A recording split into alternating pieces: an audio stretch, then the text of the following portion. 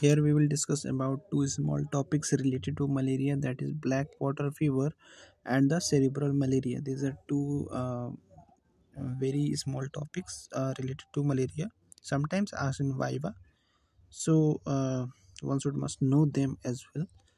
Coming to the first topic that is black water fever. So black water fever is nothing but a complication of the falciparum malaria nothing but just a complication okay? Uh, why why do we give uh, name of black water fever. This is because in this condition black colored urine is produced and since there is fever as well due to malaria hence it is together called as a black water fever. So this is characterized by a sudden severe intravascular hemolysis which is followed by a by the fever. The urine see here we have written also that since the urine becomes dark in this condition due to hemoglobinuria due to hemolysis hence the condition is called as a black water fever. What is the pathogenesis? The pathogenesis is that when a patient is previously infected with the is previously infected with the plasmodium falciparum and during that previous infection if the patient uh, was treated with quinine and then he or she is infected now then what happens that in previous infection the antibodies which are produced against the quin quininized rbcs those antibodies remain in the blood. So in the further infection in the subsequent infection now what happens that when the patient is treated again with the quinine then those antibodies combine with the quinized rbcs and cause lysis of those rbcs leading to the massive hemolysis. Okay? So this is all about the pathogenesis of the black water fever. The clinical features that we see in the black water fever uh, are very simple like the that is black urine will be there that is a very obvious thing. Then there will be fever and there will be jaundice due to the excessive hemolysis. So fever will be there jaundice will be there and black urine will be there. The, these, these are the clinical features of the black water fever. Now coming to the lab diagnosis. So the lab diagnosis is simply by the clinical history. So basically the diagnosis is by uh, clinical history.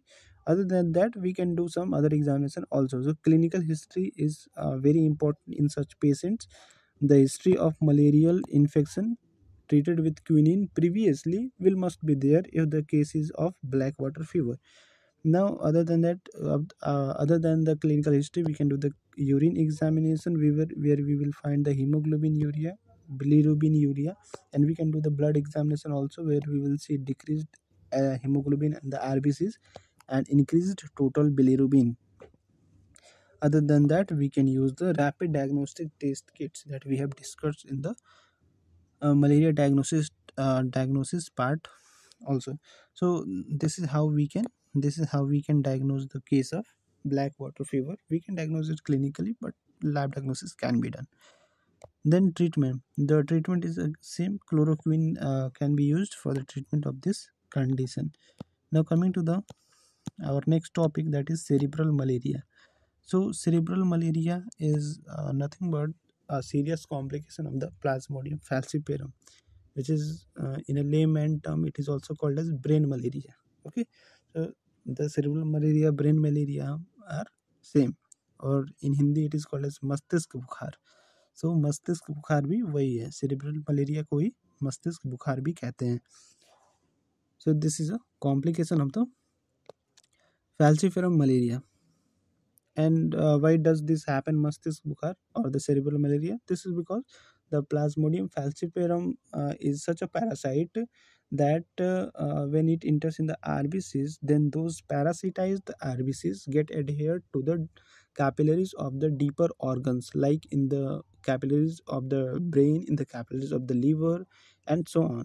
So as it uh, uh, get uh, sequestered or get uh, captured or get adhered to the capillaries in the deeper organs like in the brain. Hence it is called as brain malaria or cerebral malaria. And that is a very uh, fatal and a very serious complication. So what is pathogenesis? See here the pathogenesis is same that is adhered to the uh, mm, deeper capillaries.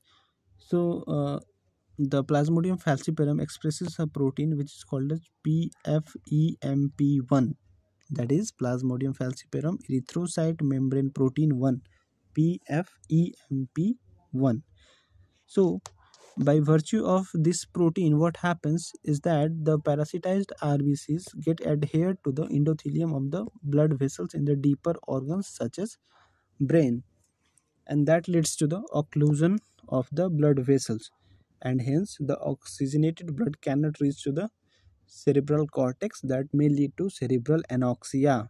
So that is the pathogenesis of the cerebral malaria. Okay that the RBCs, parasitized RBCs are getting adhered to the capillaries of the deeper organs like brain. That is causing occlusion of the blood vessel. The blood oxygenated blood can uh, is not getting to is, is not reaching to the brain. That is causing cerebral malaria uh, sorry that is causing cerebral anoxia. And thereby causing death of the patient that is the pathogenesis of the cerebral malaria the clinical feature is that as oxygen is not reaching so there may be seizure there may be reduced muscle tone due to decreased activity of the cerebral cortex there will be loss of those tendon reflexes like uh, uh, you know tendon reflexes that we have read in the physiology so those tendon reflexes will be lost knee jerk reflex like that okay so this is uh, these are all the symptoms of the cerebral anoxia and also the features of the cerebral malaria. Now coming to the lab diagnosis how will we diagnose the case of cerebral malaria? So lab diagnosis is first we have to collect the peripheral blood smear. So where we can detect the ring form accolé forms are seen. So other than that we can also detect the banana shaped gametocytes the banana shaped gametocytes are also sometimes helpful in the diagnosis of the plasmodium falciparum. Other than that the in the peripheral blood the ring form accolé forms are also uh, helpful in the detection or the uh, diagnosis of the especially the equal form. Accolé form especially is very important for the diagnosis of the plasmodium falciparum in the blood.